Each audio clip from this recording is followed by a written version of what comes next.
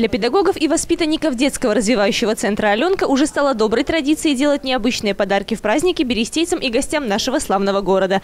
В День Святого Валентина в торговом центре галерея «Грант» открылась выставка творческих работ учащихся. Экспозиции юные мастера кисти готовились заранее. И, надо сказать, основательно. В небольшом холле разместились практически три десятка работ. Вообще работали коллективно. Друг другу подсказывали, вместе искали сюжеты, рисовали эскизы, вместе выбирали цветовую гамму.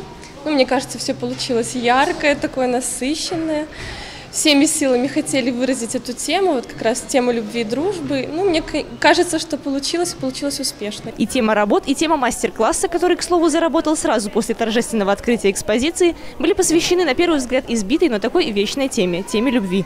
На экспресс-курсе и взрослые, и дети смогли попытать себя в мастерстве конструирования всеми любимых валентинок.